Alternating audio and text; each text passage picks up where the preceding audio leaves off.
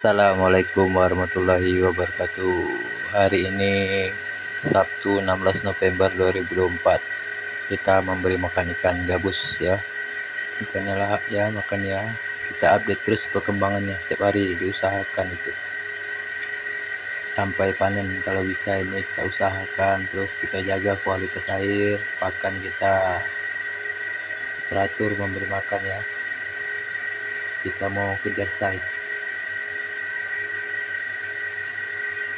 Salam pembudidaya ikan gabus. Sukses selalu. Jangan lupa like, komen, dan subscribe. Terima kasih sebelumnya. Assalamualaikum warahmatullahi wabarakatuh.